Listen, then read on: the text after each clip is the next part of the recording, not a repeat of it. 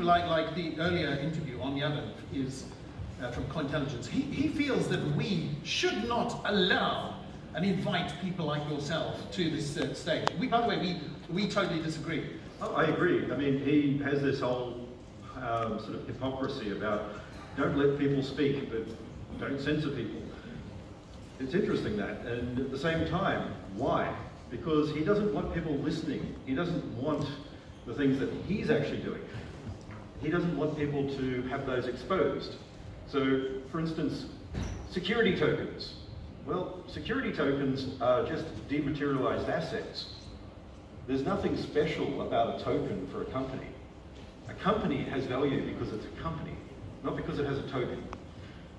In the 90s, there were a number of SEC actions because of distributed tokens. There was Free IPO, Web IPO, MyGo, and many others. All of these came about as free web stock offerings and other such things. All of them issued tokens online. And people run around going, it's decentralized. Well, that's all because of a Professor uh, Lawrence Lessig, uh, not Mr. Szabo. Mr. Szabo has basically taken a whole lot of his ideas in writing and has never once actually attributed any of that to him. And if you read all of the stuff from uh, Professor Lessig, you'll see those ideas. So no, sorry, smart contracts are not Nick Szabo's. Old farts like me who remember the 90s have gone through this. Uh, before we, we go into that, I just wanted to finish on that point about why we wanted you to come. Because what we like is that even though people disagree with you, and I think you know there's a there's a modest uh, modicum of opinion out there that is actually disagrees with you and, and has called you a fraud. We like the fact that you're prepared to come here and, and actually present yourself and, and, answer our questions. So if we may, we want to answer, ask you a couple of questions. Here. Of course. First thing is nChain. What is nChain doing? What is, what, what, what is the company doing? So nChain is a group I founded after moving from Australia, not as the fake media likes to report in December 2015 as I was fleeing and everyone's got these fake stories. I've actually, I moved before that. My kids started school here um, earlier that year.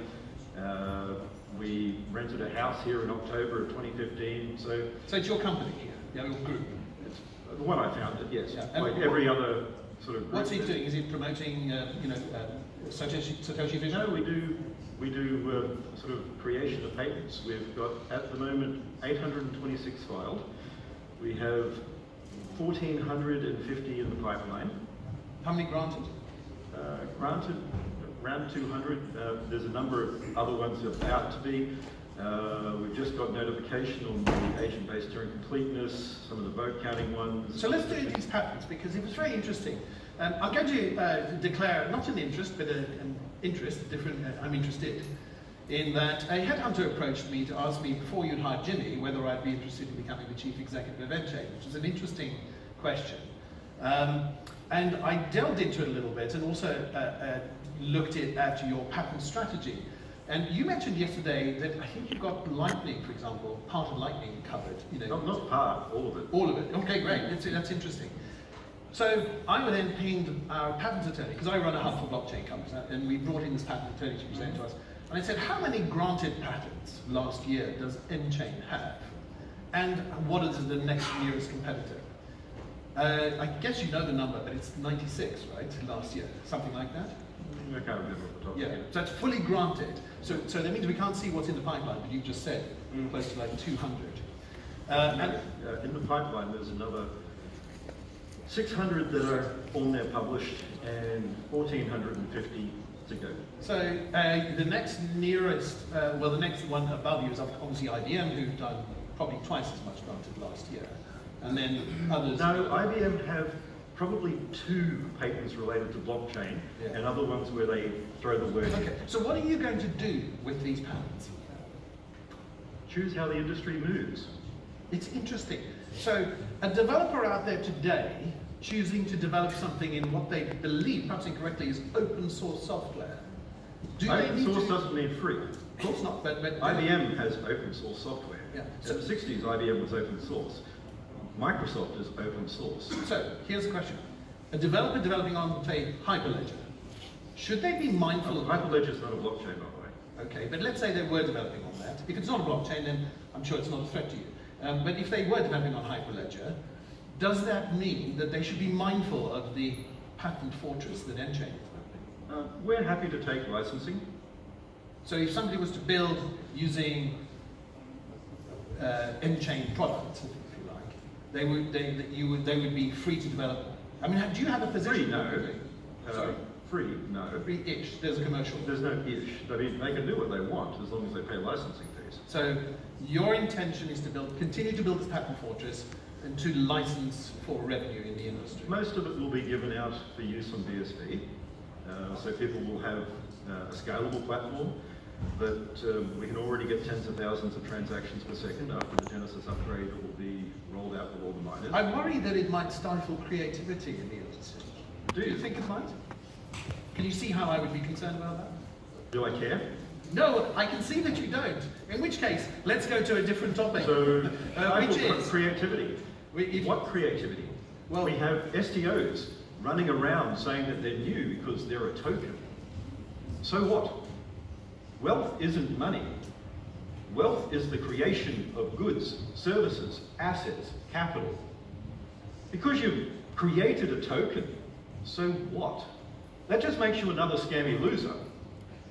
If you create a token and you don't have a business, you don't have anything. You've got Tone Vays over there. That's it. Empty. Vacuous. Okay, well, in that case, let me ask you some other questions, which is, in the recent uh, Florida uh, court case, uh, the, the questions were raised about, and I think that the judge asked uh, you, I I think it ended up with saying, that you, you were saying that the access to those uh, Bitcoin are in uh, trust, I'm not going to talk about an ongoing court case, and that was a magistrate, not a judge. the magistrate. Okay, but the publicly reported part of it, can we discuss that? Um, no, there's nothing accurate in any of those reports. Oh, People have a whole lot of. I wouldn't read um, crypto Twitter or crypto reporting. I mean, I've found used toilet paper with more accuracy. So the so so we're not going to expect to see that trustee come forward in the next few months and and move some of those. Why would I want to talk about my finances on, on stage? I If, suspect- if you go Bill Gates, would you say, "Hey, Bill, where are you spending your money tomorrow?" No, only because I, I like that you come and you hold yourself open to, to being questioned, which is wonderful. And my family's finances are my family's finances. Absolutely. So the but but it's also about your in your, your the way that people perceive you, and I think that people would be a lot more happy to adapt, adopt Bitcoin SV if they. Uh, you know, BSV, if they felt that the integrity of what you're saying would come true. So if you just moved one tiny part of that holding, then that would... Then you don't really understand Bitcoin, do you? No, that's probably right, Craig. Craig. So probably right. Which people are going to actually discover what Bitcoin's like in the next year, and not because of um, the things where you can't have your assets frozen. Oracle has had read-only databases for 30 years now, and people update records on those read-only databases every day. Do you realize how you do that? You write a new record. You don't roll back and change. You don't roll back blockchain. You write a new record. Bitcoin, it's not about decentralization, centralization, everyone taking over. We're going to issue decentralized bonds. What the hell is a decentralized bond? I mean, honestly, what a stupid concept. I'm going to raise money decentralized. I'm going to go to you and you can have part of my money. Yay! You said that Bitcoin's not intended to be lawless, right? It's intended to work in the law. In the last sentence it says we'll follow rules. Rules include law. The difference between a rule and law is law is a rule with a consequence. It is a subset of the word. And miners don't create rules. They enforce rules. That is an important word. I keep stressing this. I'm going to start buying copies of the Oxford and Cambridge Dictionary for people so that they can actually read the white paper and understand what the hell these words mean. So it's more about identity being firewalled rather than Correct. Right. Look at the privacy section. Identity is separate. Then you have this ticker out there which verifies things. And identity is separate. It doesn't mean it doesn't exist.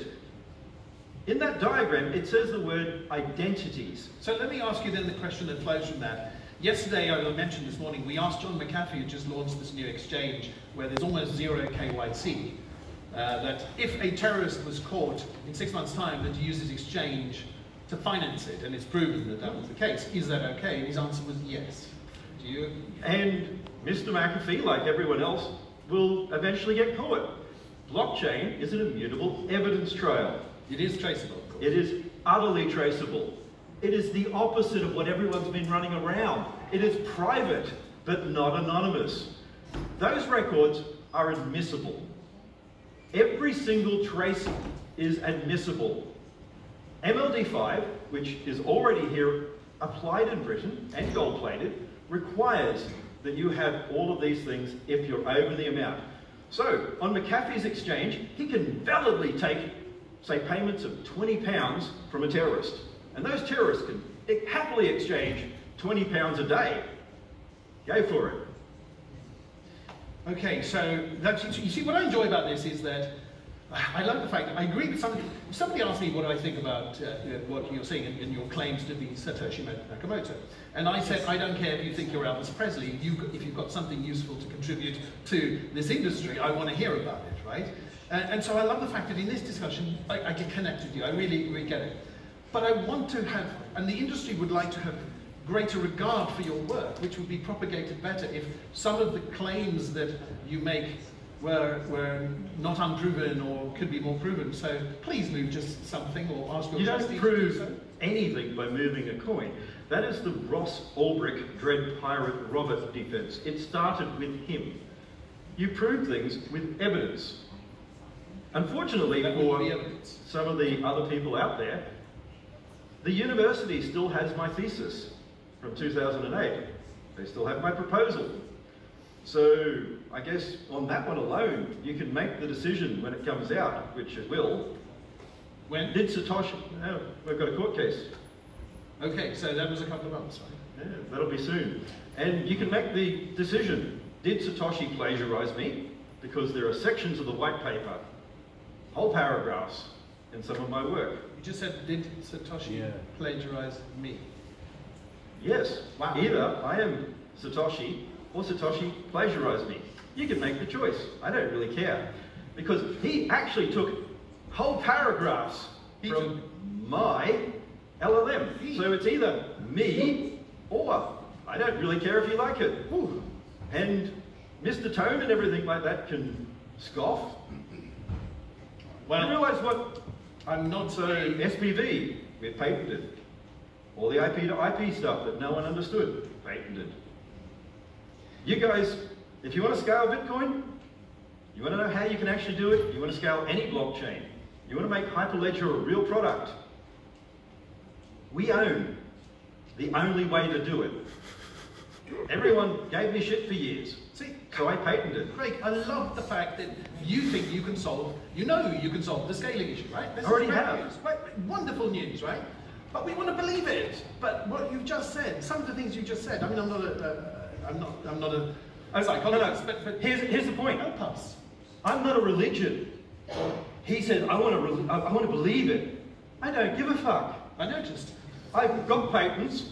We have patents. It's that simple. We've got this stuff called law. Roger and everyone else can run around going, patents don't matter. You're using force. Big bad man. So what?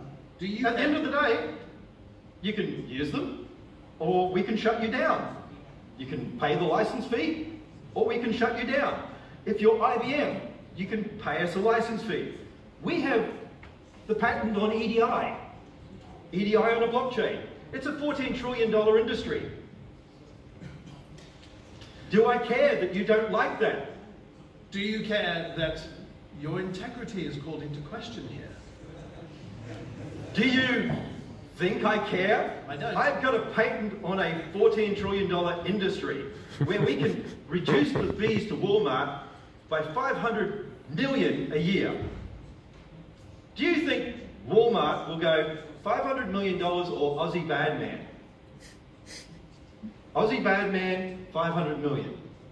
I don't know about you, but I think the guys in Walmart will care more about the 500 million. You may be right that uh, big corporate would care more about profits, but I guess society also cares about integrity and people. And I would love you to be proven to be Satoshi, but so I, what you're saying is you don't do my way. That's not integrity.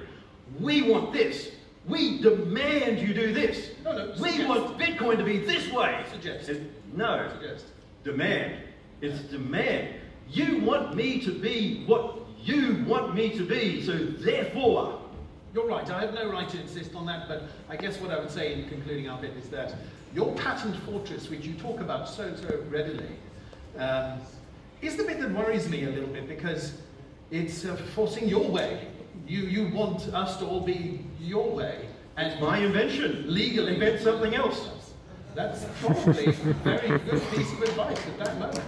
In the meantime, I'd like us to invite um, the next uh, speaker on to join us because we're now going to go into a, a duel. Just to say, there is a, before the duel starts, there's a little known fact that um, people don't know uh, uh, about Craig, and that is he tries to grow tomatoes at home.